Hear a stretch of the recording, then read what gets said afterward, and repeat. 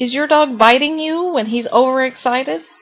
Recently, I got a message from an owner of a dog that suffers from this kind of overstimulation when she gets home from work.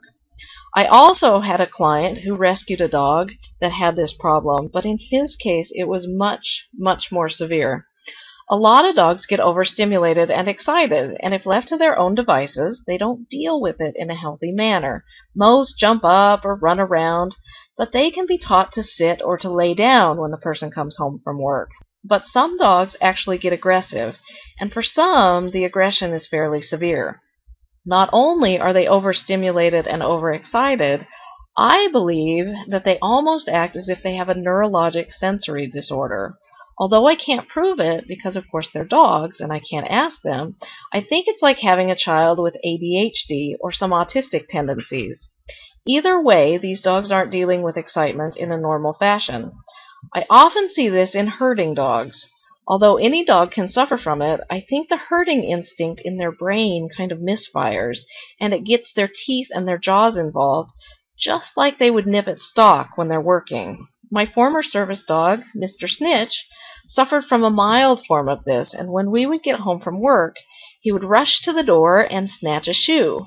Then he would run from room to room, wagging his tail and growling and carrying his shoe. He was so excited that he had to have something in his mouth. He never ate or chewed on the shoe, but I think he preferred shoes to toys because they smelled more like us. He pretty much taught himself his own coping skills when he was overexcited by putting something in his mouth. Now, fast forward a few years, my ex-husband and I were raising another Malinois, and when we would come home and open the door to his crate, he would come out biting, and he would bite us in the leg or the arm and even draw blood. As a puppy, he was extremely aggressive, so I had to teach him the same kind of coping skills that my previous dog had taught himself. It wasn't that he wanted to hurt us, he really didn't. It was simply that he didn't know how to deal with his excitement, and in some ways his genetics told him to bite when he was excited. So we placed a toy box right next to his crate, but at first he still wanted to rush out of his crate and bite us. So then we would let him out of his crate, we would kind of wiggle the toy in front of him so that he would run out and latch onto it. But I also found that if I wasn't careful and I let go of the toy, sometimes he would drop the toy and come back at me. So some tricks that I've learned along the ways for dogs like this.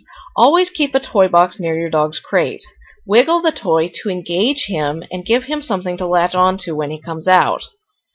When he comes out, hold it while it's motionless. Don't tug on it or continue to wiggle it. And it's still in his mouth kind of let him decompress. Motion, like walking towards the door or tugging on the toy, can aggravate this oversensitivity, causing them to growl and get more excited. So stay still for a moment or two until he seems a little more composed. If he wants to let go of the toy and come back onto you, hold the toy as you slowly walk him towards the door to go outside. Don't engage in a game of tug, as this will continue to overstimulate him. The idea is that he gets to keep something in his mouth to bite or suck on to kind of soothe his nerves. For one client, the client with the rescue dog that I mentioned, I had her pack a fanny pack full of toys, so if her dog dropped the first toy and came back towards her, excitedly to bite her, she had something else to put in his mouth until she could get him outside. These tricks work for most oversensitive biters, and eventually you can teach the dog to go and get his own toy when he's overstimulated like this. Most dogs decompress after they've been outside for a few minutes, but a few dogs are severely aggressive and unpredictable. The rescue dog that I worked with was an adult dog, and when he got excited and bit, he was dangerous. And to make matters worse, his owner never knew when he would trigger that behavior. It was sometimes when her other dogs barked or when he would get excited in his mind when she was playing with him. So his behaviors were much harder to predict. Seeking a veterinary behaviorist or someone who can prescribe calming drugs may be in order if you have a dog like this.